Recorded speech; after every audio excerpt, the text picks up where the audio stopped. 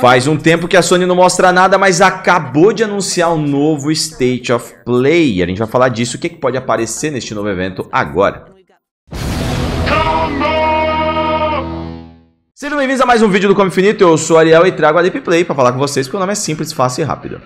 Novamente aqui é a Lepiude, sim Ariel, mais um evento da Sony que promete coisas novas. Mas mais uma vez, todas as vezes eu falo a mesma coisa, eu não caio nessa.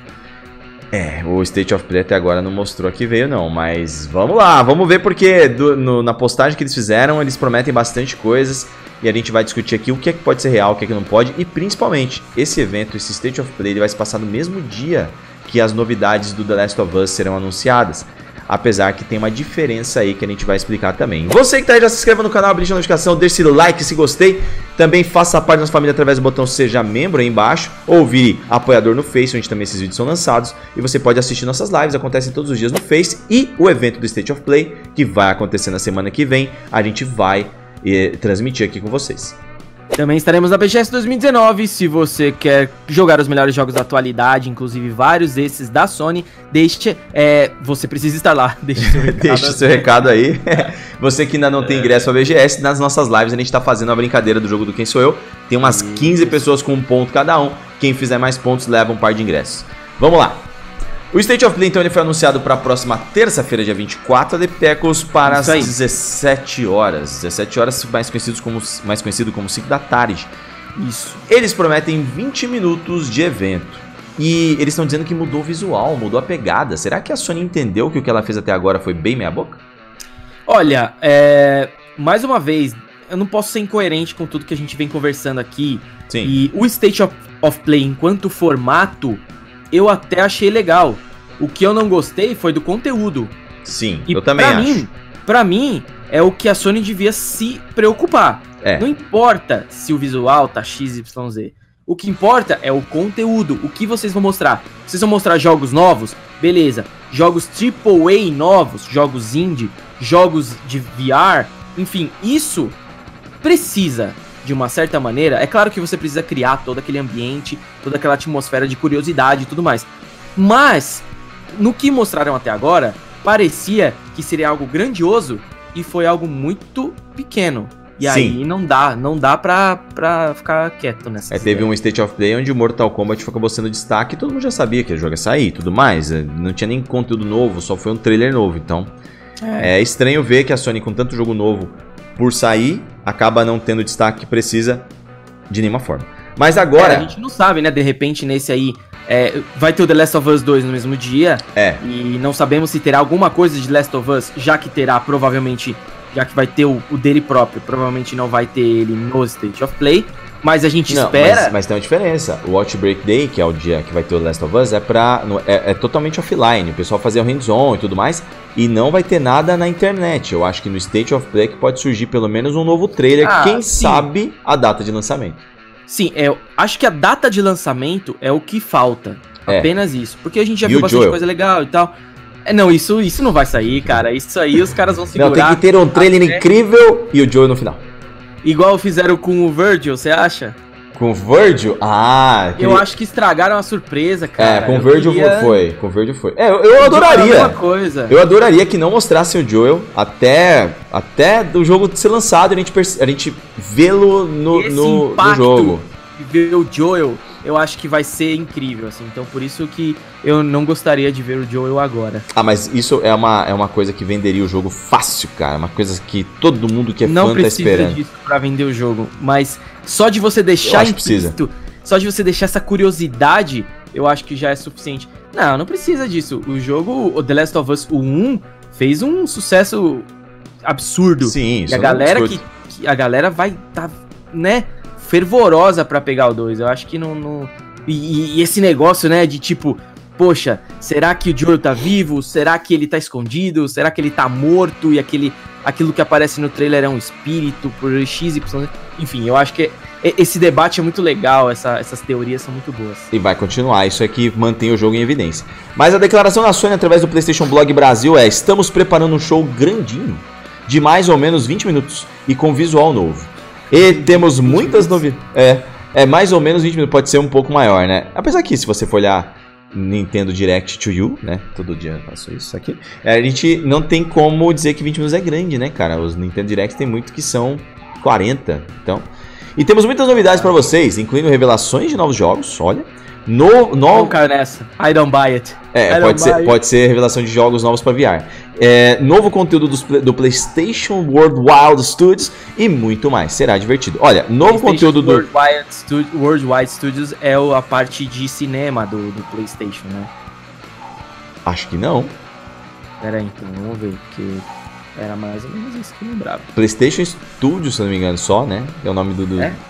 PlayStation World Wild Studios é o, o, o estúdio de jogos mesmo. Vamos ver. É isso mesmo? Você já pesquisou? Não, não, é o que eu tenho na minha cabeça. Então esquece, corta esse negócio é, aí. Cinco minutos de alguma coisa, corte. Eu falei o PlayStation World Wild Studios, a gente pode prever então que podem entregar trailers novos do Ghost of Tsushima, do, do próprio Last of Us, dos jogos exclusivos que ainda não vimos mais nada, né? Mas... Será, Ariel? Você acredita que terá algo de Death Stranding? Ah, eu acho que sim. Eu acho que. Eles tiveram uma apresentação Não, na algo TGS. Novo, algo novo. Então, eles tiveram as apresentações na TGS e essas apresentações são muito para japonês ver. Agora tá na hora de voltar a fazer a promoção do jogo pro outro lado do mundo. Então acho que um trailer novo, pelo menos, a gente deve ver sim. Um trailer rápido, sabe? Algo para dizer, olha, Death Stranding está aí, tá chegando.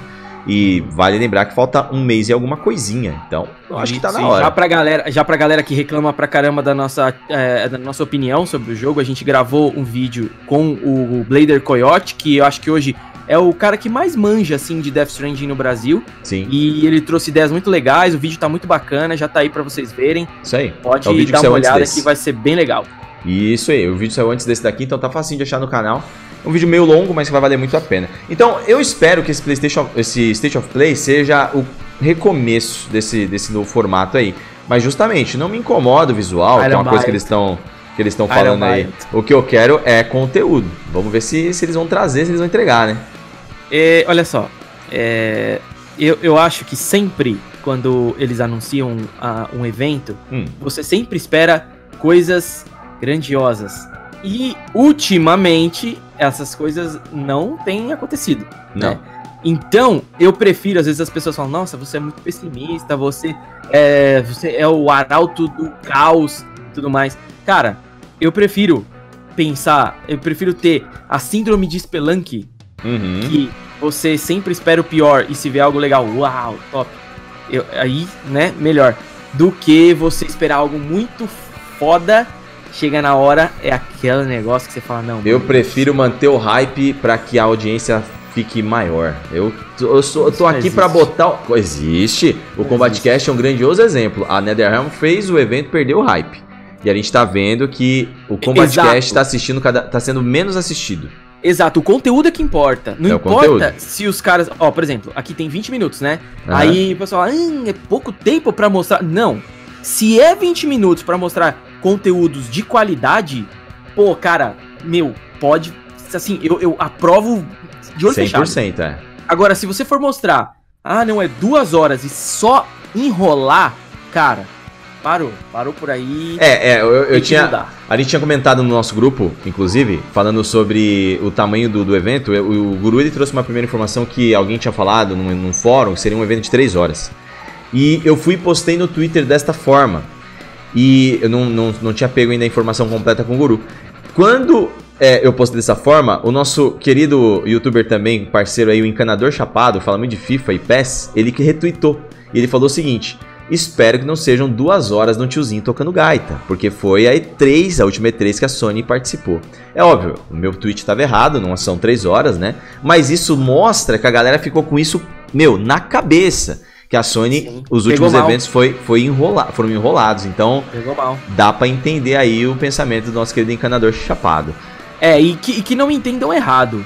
É, que não me entendam errado. Eu quero que seja bom. Sim. É, eu, eu não, vai, não vai desmonetizar esse vídeo aqui por conta da sua frase, Litex. Por quê? Porque você refez, porque não me entende. Tipo, ficou, ficou, né?